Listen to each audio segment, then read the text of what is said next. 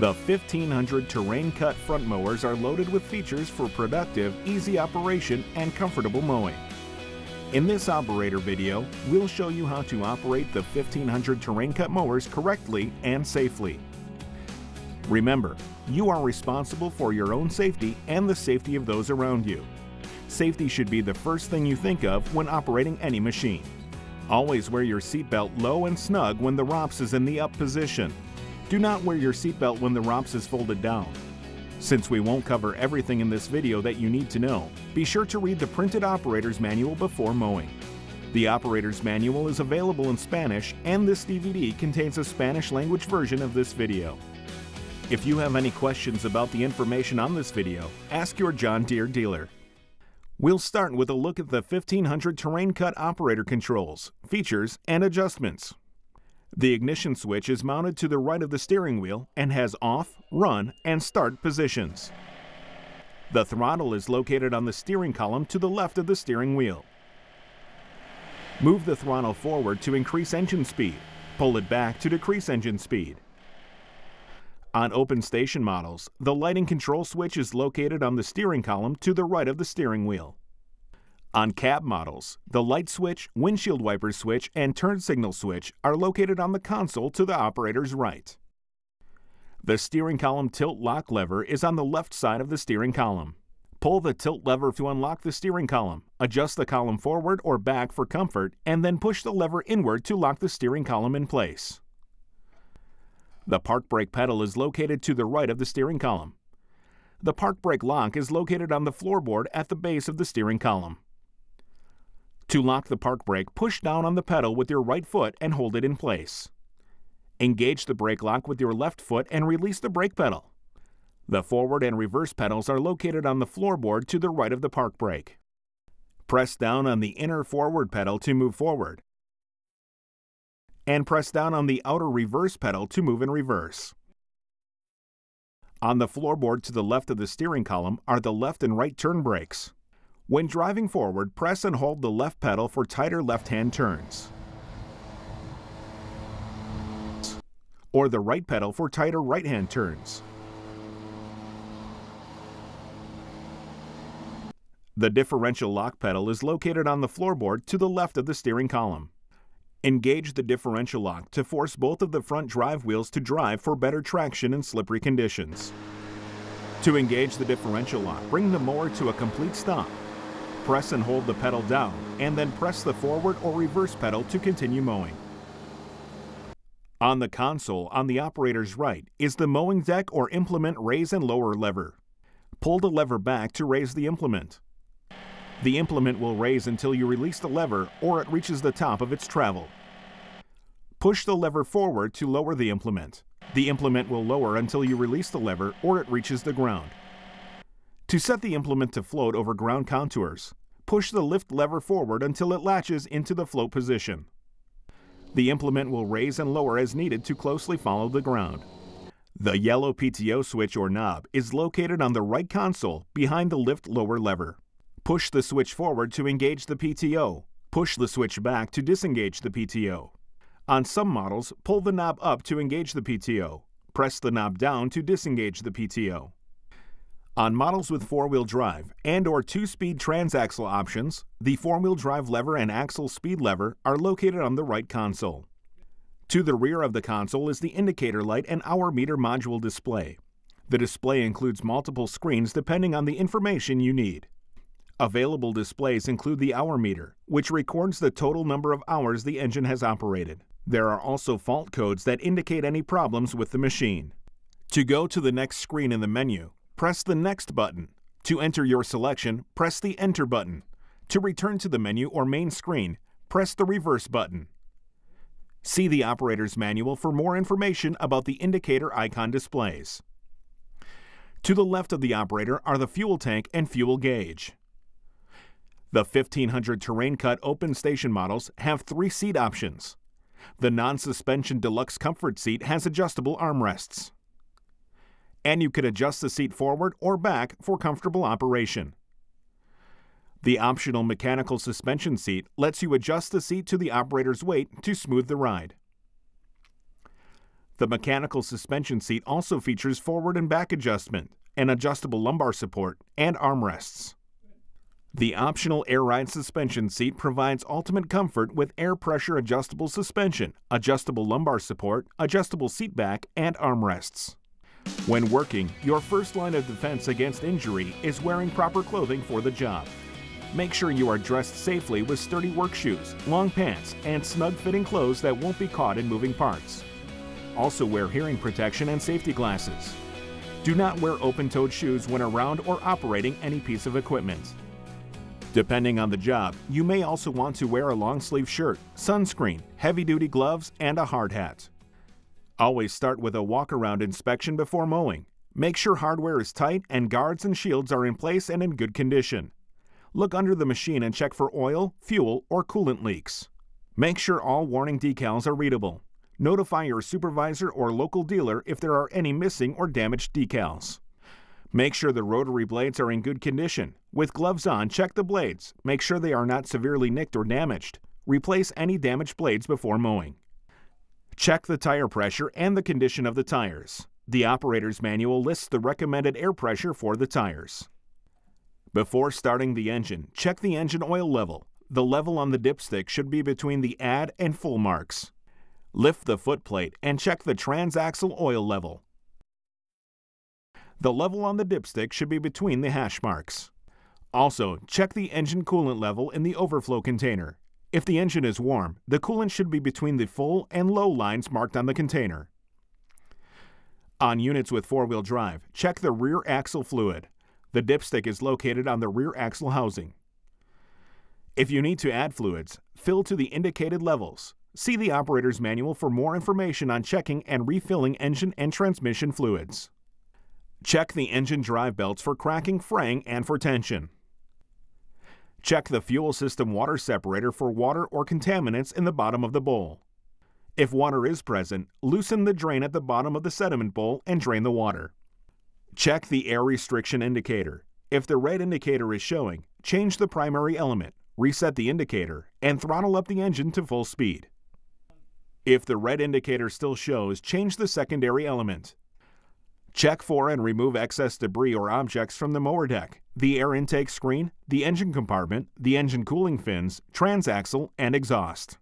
Always check the height of cut before mowing. There are 11 cutting height settings available within a range of 1 to 6 inches. To adjust the height of cut, raise and lock the service latch on both lift arms. See the decal on the front of the deck or check the operator's manual for the rear hanger pinhole locations that correspond with your required height of cut. Remove the rear hanger pins on the rear hanger plate on both the left and right side of the deck and reinsert them into the proper holes. To change the front casters, support the caster wheel with one hand and remove the quick lock pin and spacer guard. Move the proper number of spacers either on top or bottom to reach your chosen height of cut. The caster wheel bracket is offset to provide a range of cut, if your normal cutting height is between 1 and 4.5 inches, the caster wheel bracket should be in the up position. 1500 Terrain Cut Open Station models come with a foldable rollover protection system or ROPS. Always mow with the ROPS in the raised position and always wear your seatbelt when the ROPS is raised. Fold the ROPS for better clearance under low-hanging branches and for easier loading into enclosed trailers. Do not wear your seatbelt with the ROPS in the lower position and raise the ROPS as soon as conditions permit. The 1500 Terrain Cut mowers have a safety interlock system installed. To start the engine, you must be sitting in the seat with the park brake engaged and the PTO disengaged. See the operator's manual for information on how to test the operator presence system and test the PTO shutoff switch, park brake switch, neutral start switch, and seat switch before you mow. If you find a problem while testing, notify your supervisor or local dealer. Do not operate the machine. Safe and proper mowing with the 1500 Terrain Cut requires your complete focus and attention. To start the engine, sit in the seat with the ROPS up and your seatbelt fastened. Make sure the park brake is locked or press and hold the brake pedal down with your right foot. Make sure that the PTO is disengaged and the throttle lever is in the slow idle position. Turn the key to the on position on diesel engine models, wait for the engine preheat light to turn off. Turn the key to start the engine and release it to the run position after the engine starts. Let the engine warm up at half throttle for 2 minutes before operating the machine. To transport, move the throttle to full and slowly push down on the forward pedal, or reverse pedal if you are backing up. Always transport at low speeds and do not transport with the PTO engaged. Always transport with the deck in the float position. If you must transport with the deck raised, avoid hard braking and slopes. When crossing roadways, always stop and look both ways before proceeding with caution.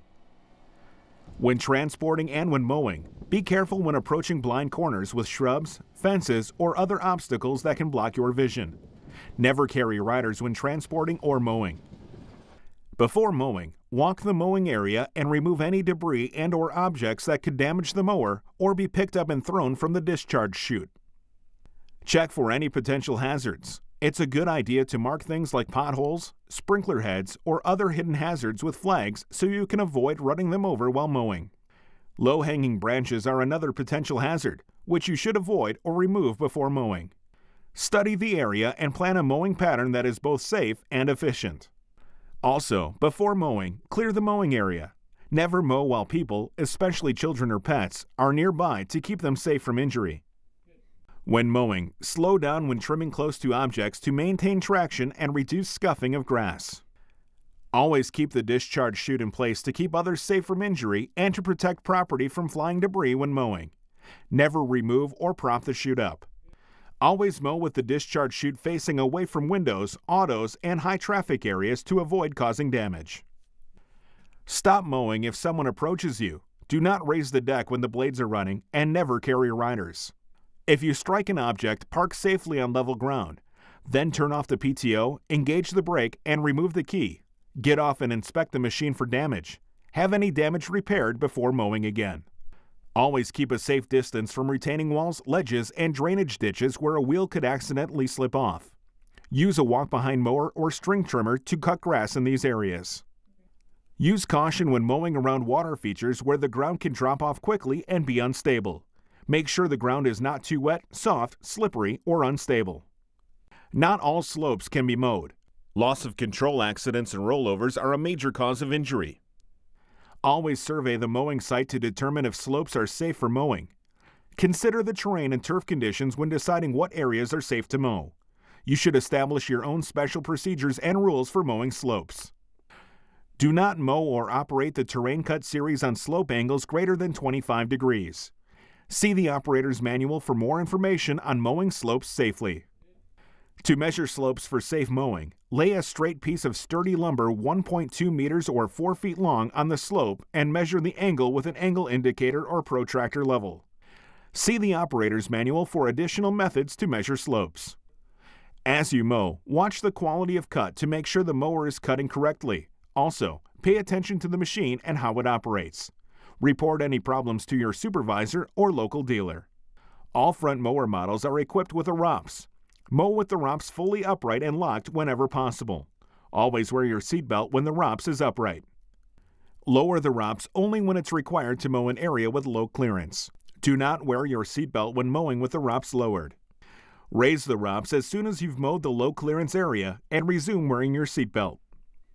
The seatbelt keeps you from being thrown and possibly crushed by the machine should it tip over in an accident. To park the machine, stop on level ground, engage the parking brake, lower the deck to the ground, throttle down the engine, turn the key to off and remove it from the ignition before getting off the mower. To transport the mower on a trailer, carefully drive or back the unit up the ramp and onto the trailer. Lower the deck and engage the parking brake. Turn off the engine, remove the key, and get off the machine. Finish by securing the mower to the trailer. Use tie downs at the rear of the unit and place straps over the mower push arms at the front. See the operator's manual for more information on operating the 1500 terrain cut mowers. After you finish mowing, there is some maintenance you should do to get the mower ready for the next day.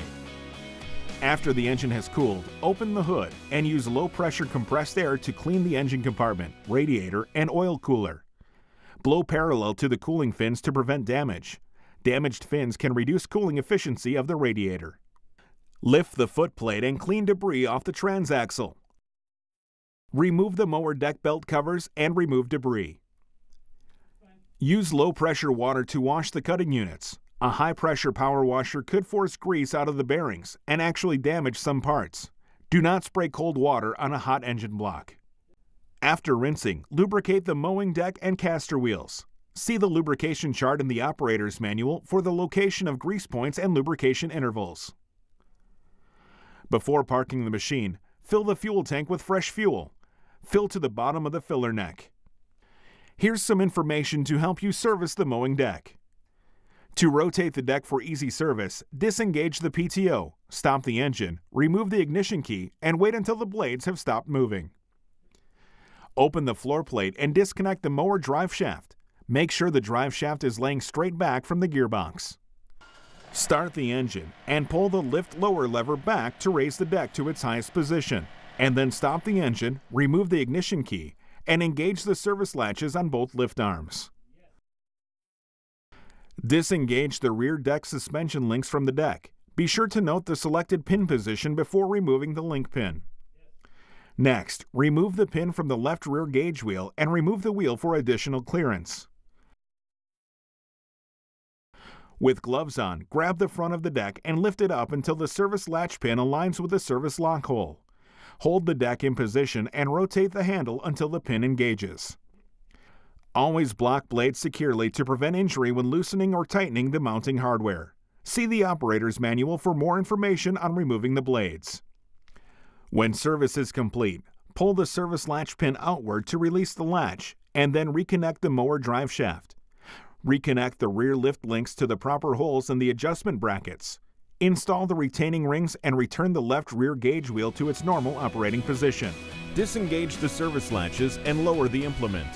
With proper operation and regular maintenance using genuine John Deere parts and lubricants, you'll get years of service from your investment.